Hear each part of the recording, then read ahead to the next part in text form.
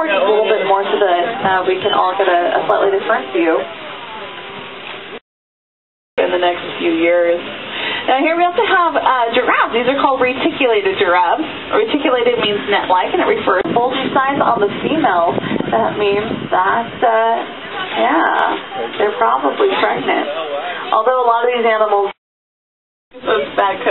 These are called scimitar horned oryx. This is uh, they're doing a lot better. Uh, now I want to tell you a little bit about their story. He's trying to encourage her to get up, just like you do in the morning. Get up, come on.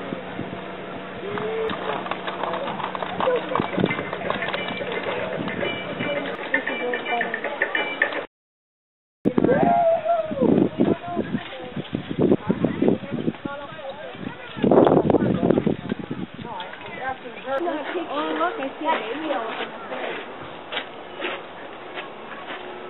Look, he's got a, a, a big piece. He, he can't eat it. He can't get it in his mouth.